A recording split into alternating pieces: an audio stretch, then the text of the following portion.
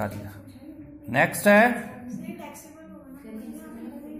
Those perquisites which are taxable only specified employee हमने बताया था अलाउंस टैक्स सॉरी परक्यूजिट्स तीन लोगों को टैक्सेबल होती है।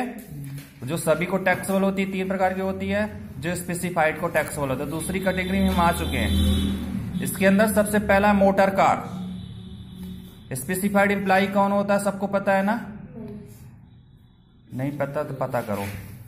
पीछे का वीडियो देख के motor car. Motor car employer employee को कार की फैसिलिटी देता है। पहली सिचुएशन है, यदि मोटर कार एम्प्लायर एम्प्लाई को विदाउट रनिंग और मेंटेनेंस देता है, बिना पेट्रोल डीजल का खर्चे के बिना, केवल कार दे दिया रनिंग और मेंटेनेंस नहीं देता। तो अगर पर्सनल यूज़ के लिए दिया है तो पूरी तरह टैक्सेबल होगा। कितना टैक्सेबल होगा? डेप्रिसिएशन टैक्सेबल होगा। वो मोटर कार की वैल्यू का टेन परसेंट टैक्सेबल कर लेंगे या किराए पे लेके दिया तो किराया टैक्सेबल होगा। साथ में ड्राइवर भी दिया है तो ड्राइवर की सैलरी भी जोड़ देंगे। यदि चार लाख की गाड़ी आपको दिया तो चार लाख का टेन परसेंट चालीस हज़ार वो टैक्सेबल हो जाएगा और ड्राइवर का सैलरी जो होगा वो टैक्सेबल हो जाएगा। यदि है, किराए पे लेके देता है तो जितना किराया वो टैक्सेबल हो जाएगा। ऑफ़िस यूज़ के लिए तो कुछ भी टैक्सेबल नहीं होगा। लेकिन पार्टली ऑफिशियल पार्टली पर्सनल है। स्मॉल कार है या बिग कार है। स्मॉल कार में कार के लिए छह सौ रुपए टैक्सेबल होगा प्लस ड्राइवर है अगर साथ में तो नौ सौ जुड़ जाएगा। बिग कार के लिए नौ सौ प्लस नौ सौ ड्राइवर का। अब तुम लोग जानना चाहोगे स्मॉल कार और बिग कार क्या होती है? इंजन की कैपेसिटी आपको याद रखनी पड़ेगी। स्मॉल कार वो कार है जिसकी इंजन की कैपेसिटी 1.6 लीटर या उससे कम है, या 1600 सीसी।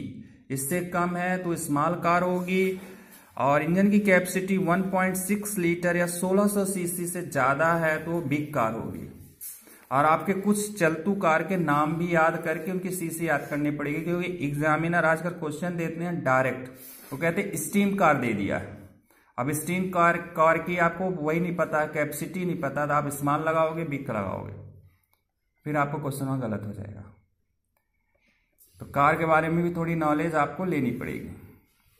नेक्स्ट चार्ट यदि इंप्लायर इंप्लाई को मोटर कार की सुविधा देता विद रनिंग और मेंटेनेंस उसमें रनिंग और मेंटेनेंस नहीं था, इसमें रनिंग और मेंटेनेंस तो पर्सनल यूज़ है फुली टैक्सबल होगा।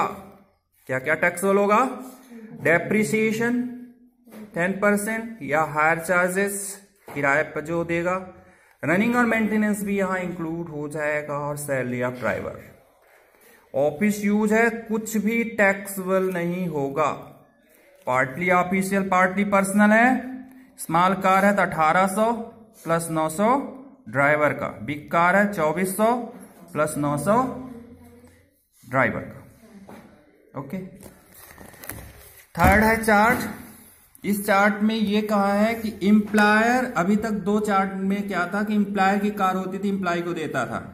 इस बार कार किसकी होगी? इंप्लाई की कार है इंप्लायर केवल खर्चा देगा। तो अगर पर्सनल यूज़ है, पूरी की पूरी टैक्सबल होगा, क्या होगा? रनिंग और मेंटेनेंस का जितना देता है ड्राइवर का देता है। ऑफ़िस यूज़ है, कुछ भी टैक्सबल नहीं होगा। Partly official, partly personal, small और बिग। स्मॉल कार में जितना रनिंग और मेंटेनेंस सैलरी ऑफ़ ड्राइवर का दिया है, उसमें से घटा देंगे 1800 कार के लिए या 900 ड्राइवर के लिए। और बिग कार है तो रनिंग और मेंटेनेंस सैलरी ऑफ़ ड्राइवर में से हटा देंगे 2400 कार का और 900 ड्राइवर का। और कुछ इंप्लाई से भी रिकवर किया, वो भी घटा देंगे। समझ में आ गया? दूसरा पॉइंट इसमें क्या है कि एम्प्लायर एम्प्लाई को एक से ज़्यादा कार देता है। कितनी देता है car? Pool of car pool of car मतलब जानते हो? More than one car more than one car है। मतलब कई कार है उसके पास। वो कहता है, कोई भी कार में आप चढ़िए। तो इस स्थिति में बोला गया है कि एक कार को पार्टली ऑफिशियल पार्टली पर्सनल मानेंगे। बाकी सब कार को पर्सनल मान लेंगे। कई कार है?